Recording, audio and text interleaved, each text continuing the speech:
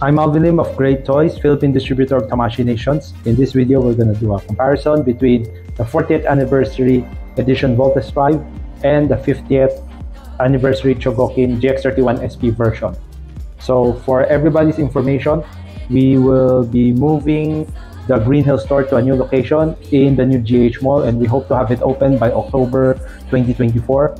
We will have a special Chogokin 50th anniversary exhibition at the new store. For this item, you can go to Great Toys Pasay Makati branch, Great Toys Alabang, and Great Toys Green Hills to pick up your stocks. 40th anniversary edition that we have here is our display unit which we use to display um, at example Ayala Mall Manila Bay Tamashii Nations event.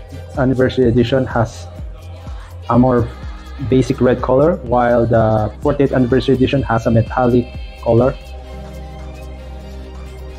Either version of course looks stunning.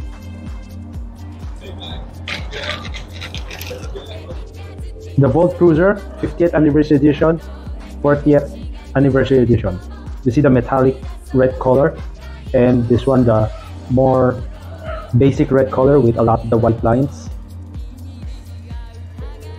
You can see the metallic uh, coating for the 50th anniversary edition. You can see there's even white lines here on the rear section of the Voltes 5 head while there's no white line here. Here's the Volt Bomber Of course, there's chrome on the shoulders for the 50th anniversary edition. This is basically just a silver.